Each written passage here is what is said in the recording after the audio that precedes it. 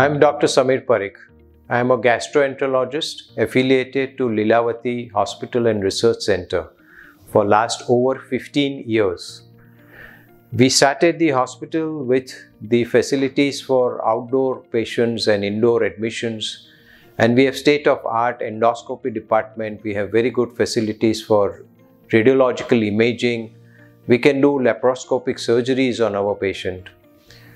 The commonest cause of seeing a gastroenterologist for general population is dyspeptic symptoms, that is patients having upper abdominal pain, discomfort, gas bloat, bowel disturbances.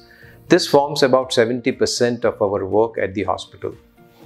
What is important for us to identify is which of these patients have serious illness and we, we look at their symptomatology and decide upon whom we should admit, whom we should endoscope. So we do proper screening of our patients, their symptomatology, and then decide the investigations and the plan of actions. But the hospital is a one-stop hospital for evaluation of all GI disorders. It be liver disease, it be disease of the pancreas, it be gallstone disease. As we have facilities for intensive care unit, we have facilities for endoscopic surgeries, we have facilities for laparoscopy, We've even recently started doing liver transplantation. The second group that we see very commonly in our uh, patient population is jaundice patients, those who have chronic liver disease and majority of them have alcohol as the etiological factor. So alcohol in general population produces two major issues. One of them is chronic liver disease and the other is chronic pancreatitis. Both these disorders are absolutely preventable if you see patients on regular intervals.